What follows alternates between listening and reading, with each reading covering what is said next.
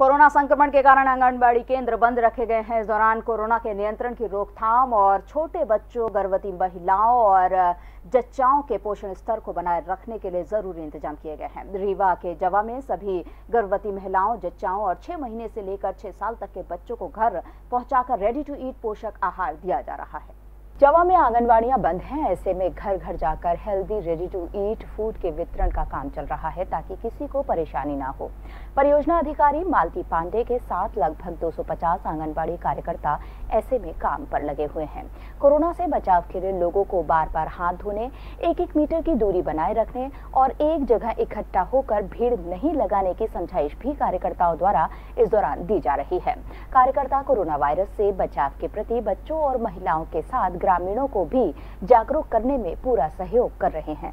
जो समूह द्वारा स्थानीय व्यवस्था करके, जैसे सत्तू है, लड्डू है और ये मूंगफली का बना करके, जो माने स्थानीय व्यवस्था हो सकती है, उसको व्यवस्था करके और दो सौ ग्राम बच्चों के लिए ढाई सौ ग्राम महिलाओं के लिए व्यवस्था की गई है।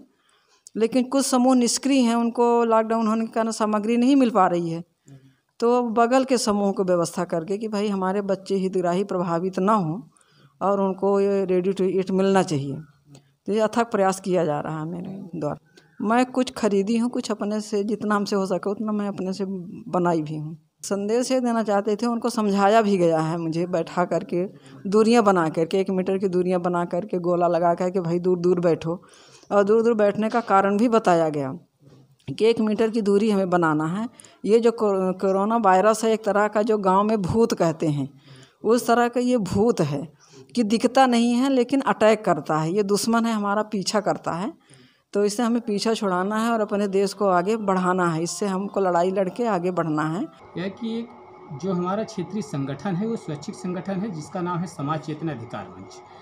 आज महिला बाल विकास विभाग परियोजना जवा की परियोजना अधिकारी मालती पांडे और सेक्टर सुपरवाइजर रणजीत सिंह सिंह इनके साथ में हमारी दस्तक परियोजना की टीम के साथियों ने कई गाँवों का भ्रमण किया, जहाँ पे ग्राम पंचायत के सरपंच और सचिव और महिला बाल विकास विभाग के द्वारा जो मास्क और सैनिटाइजर उपलब्ध हुए हैं, उनके सहयोग में पूरी टीम के साथ हम लोगों ने मिल करके जो गरीब वर्ग वंचित है और जिन तक पहुँच नहीं हो पा रही है उनके साथ मिल करके उनको सैनिटाइजर और मास्क वितरण करवाए जाने का हम लोग ने पूरा पूरा प्रयास किया है।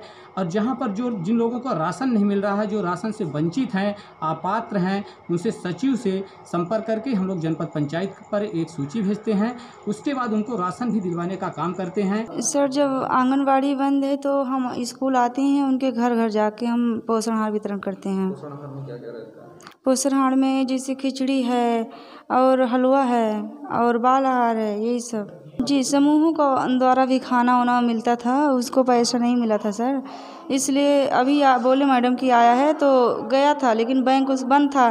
तो बोले कि मैडम आप हम पैसा दे दो या सामग्री ला के बांट दो हम फिर बाद में हम अपना को दे देंगे नहीं तो हम सामग्री और अगर मिल जाएगा पैसा तो हम ला के फिर वितरण करवा देंगे। संगीत की स्वर लहरियों से। सांस्कृतिक ताने बाने तक। चंबल के पीड़ों से नक्सलवादियों के गढ़ तक झोपड़ी से महलों तक ठेलों से मेलों तक पगडंडियों से सड़कों तक गाँव से शहरों तक व्यापार से उद्योगों तक। राजनीति से कूटनीति तक। दखन न्यूज़। आपके हक।